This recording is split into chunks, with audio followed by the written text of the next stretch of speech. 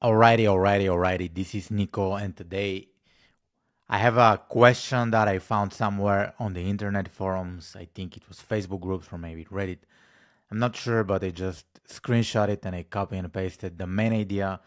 So this guy is generating a good number of leads for his business, but the issue is that when we reach out, the leads are either not relevant, not useful, or they aren't responding to ghost messages or any other communication. He asks how to improve the quality of these leads and target the real audience who are interested. Who are interested. There, there could be many reasons why the lead quality is bad. So here, like a lot of people would say, use Facebook forms or generate the website forms or whatever, whatever, whatever. However, this is not like the real deal. This is not the fundamental issue of the problem. Problem. The, funda- the fundamental issue of the problem, I think it comes from the idea that you don't know who you're selling to, right? Who is your ideal customer? Who is your ideal customer? You have to start from there because if you don't know who he is, how are you gonna able to get it right? This is the first po- point I would like to make we're gonna start with a who. Who is he or who is she or who are they or whatever. But one, let's focus on one. Let's focus on one because if, if we start adding a lot more people, there's gonna be a lot more confusion. The next thing that you would like to ask, what do what does he want? What these people do really want, right? So what do these people really want? For example, what they want, what's the core desire they have, right? And, and here I'm gonna add write core and it stands for core desire. A guy commented on my channel and he said he doesn't understand what I'm writing. I'm also don't understand I also don't understand what I'm writing. anyway, so for example, if you talk to like let's say people who run agencies they're gonna want more leads, right? They they they would like to close more sales. If you talk to CrossFit people, let's say CrossFitters, they would want they would want more strength, right? They would want more agility. I'm not sure if agility is the right way to, to say it. They would like to to have more endurance. So the things that you're gonna say, the things that you're gonna promise these people will be different. Here, let's say, let's say CrossFitters are extremely uh, concerned about how much weight they they they press. So the way you do it, you start your ad to CrossFitters who would like to increase their bench press, right? They would like to the bench press to go up and up. And so this is how this is how you just like get the crossfitters, right? Because when you run your ad on Facebook ads, you might target like weight loss, you might target some different interests, right? You might target a lot of different things, but not everybody will not ev- not everybody who sees your ad will be your target market. That's why the first strategy to do when running Facebook ads would be to call out the target market and to promise the target market the thing that they want. So your big promise should be something they want, right?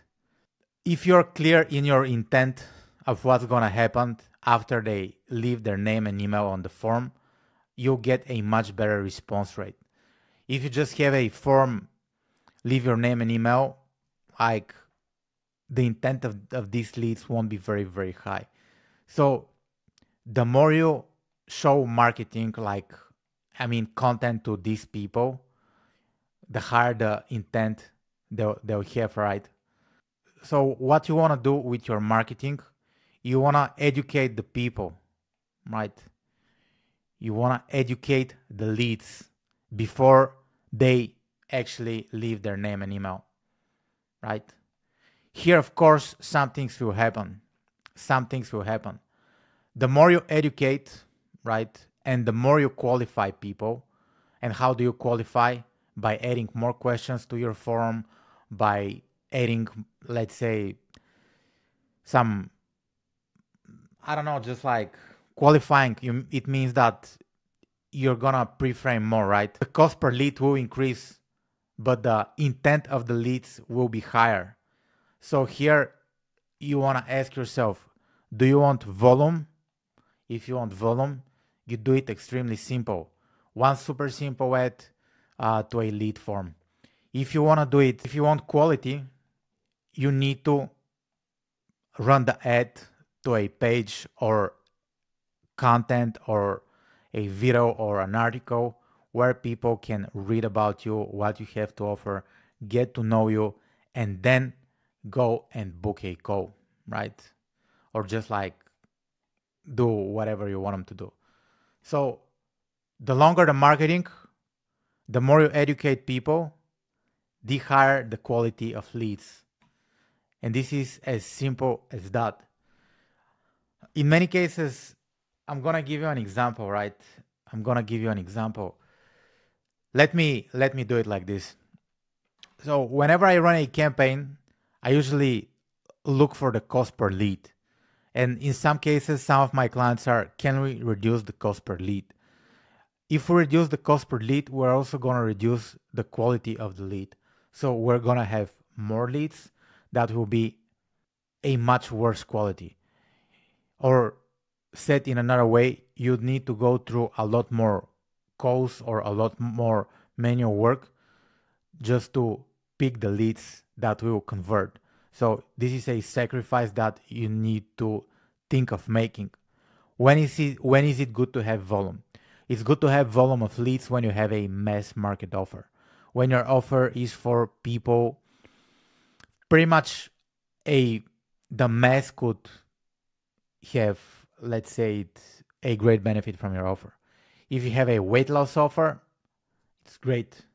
But if you're if you're trying to help cons- financial consultants get more leads from the B2B uh, sector, it's just gonna be a lot more, a, a little bit more complicated. The cost per lead in the weight loss product will be much less the cost per lead in the financial industry will be much higher, but but there will be better quality leads. Yeah, this was the video for today. This is the answer for today. My name is Niko. On my channel, I usually do this stuff.